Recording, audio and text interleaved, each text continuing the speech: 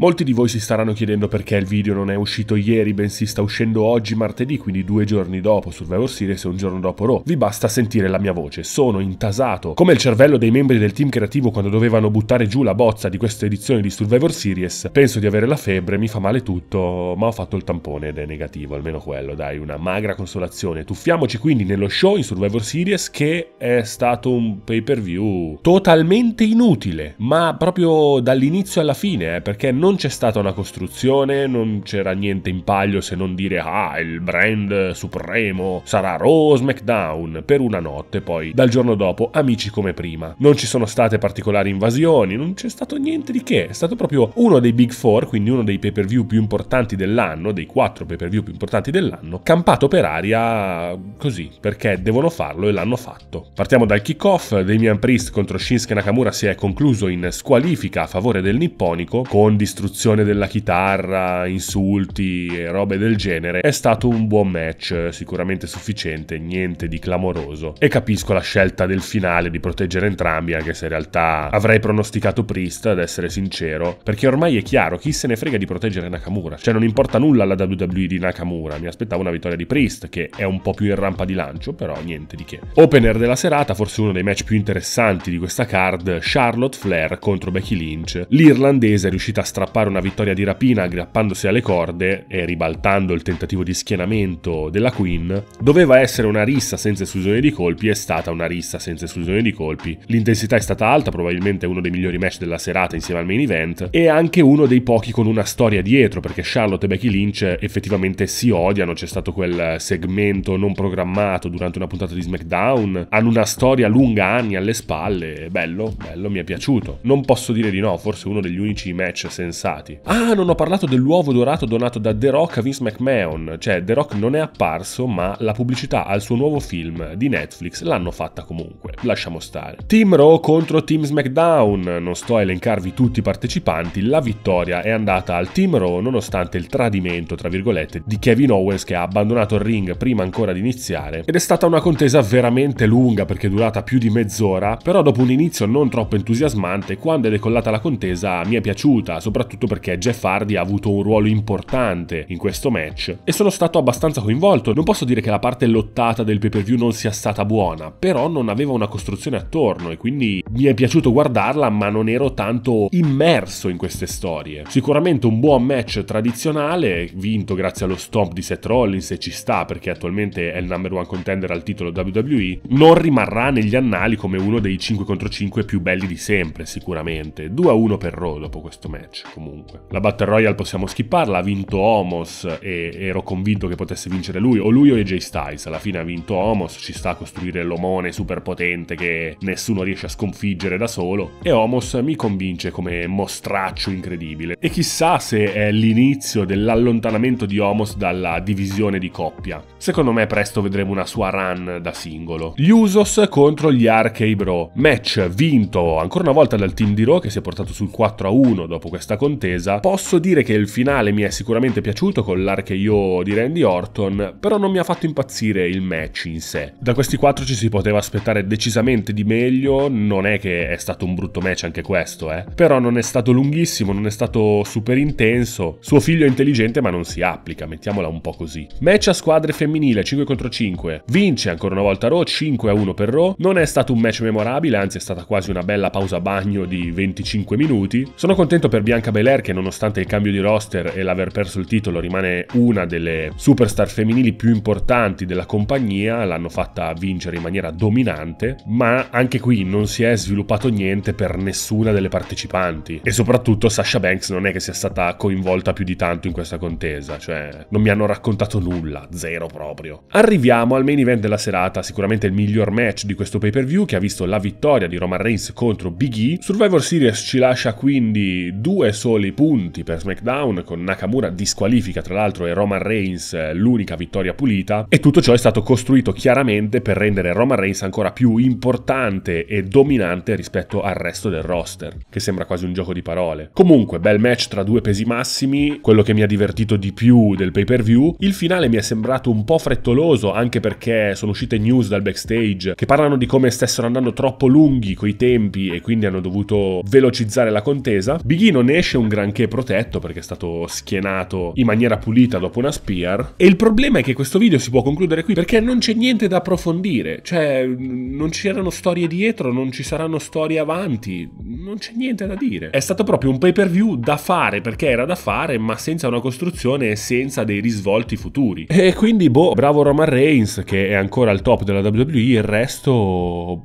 boh, Becky Lynch contro Charlotte, bello. E poi tanti match di contorno per la supremazia tra brand che non è stata neanche menzionata più di tanto durante l'evento. E io non posso fare altro che darvi appuntamento ad un prossimo video. Grazie mille per essere passati dal vostro Certified Way e tutto. E boh, cioè, finita così. Sì, mi dispiace. Ciao.